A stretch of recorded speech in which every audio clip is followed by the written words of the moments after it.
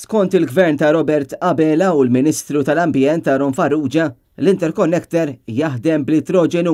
Meta t-Tnejn filgħodu Net News staqsa lil Aaron Farrugia għaliex il-Gvern mhux juża l-orħos sors ta' enerġija u l-aktar sors nadif, il-Ministru tal-Ambjent spiċċa jgħidilna li l-interconnector jaħdem bl-idroġenu. Inkompli nħeġġeġ il-ħidma li qed tagħmel il-kollega tiegħi, il-Ministru Miriam Dalli, illi fl-aħħar ġranet flimkien konna Luxembourg fejn innegozjajna wkoll interconnector ġdid li jista' jaħdem bl-idroġenu. Meta kulħadd jaf li din hija stqarrija żbaljata u l-Gvern lanqas biss jaf id-differenza bejn pipeline tal-idroġenu u l-interconnector li huma żewġ sorsi differenti. Inkompli nħeġġeġ il-ħidma li qed tagħmel il-kollega tiegħi, il-Ministru Miriam Dalli, illi fl-aħħar ġranet flimkien konna Luxembourg fejn negozjajna wkoll interconnector ġdid li jista' jaħdem bl-idroġenu. Intant, il-Ministru Farrugia bqajna nistaqsuh għaliex bħalissa l-Gvern mhuwiex juża il-massimu tal-interconnector. Għalxiex m'intomx tutilizzaw kif suppost l-interconnector?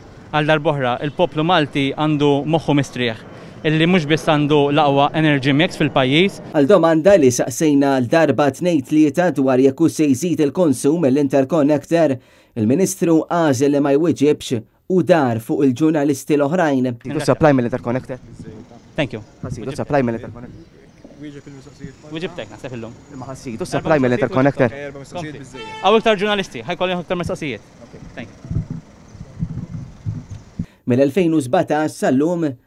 Pajjiżna uża biss terz tal-enerġija pprovduta mill-interconnector minkejja li dan jibqa' l-orħos sors ta' enerġija u l-aktar sors nadif.